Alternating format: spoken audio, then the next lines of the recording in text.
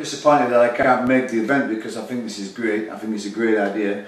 But I've actually got, uh, I'm going to uh, to Vegas in uh, in early June, so I've got loads of things to sort out. Plus my wife's just found out she's pregnant, so we've got to do that and stuff, and we're trying to get a visa sorted. So I'd just like to apologise to all you people out there and say, tell you, actually you're lucky that I'm not turning up because I probably would have been a nuisance.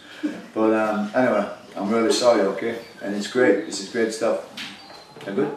I think it's a great idea, you know, especially with the Diamond Jubilee. It's a great way to celebrate it. I think the event's going to be uh, brilliant. Uh, it's a very unique idea. I've never seen anything like it before. Um, hopefully, I can still make the event, but you know, if I can't, I'm I'm hoping I'll be able to make an event in the future and you know maybe buy buy something if you let me.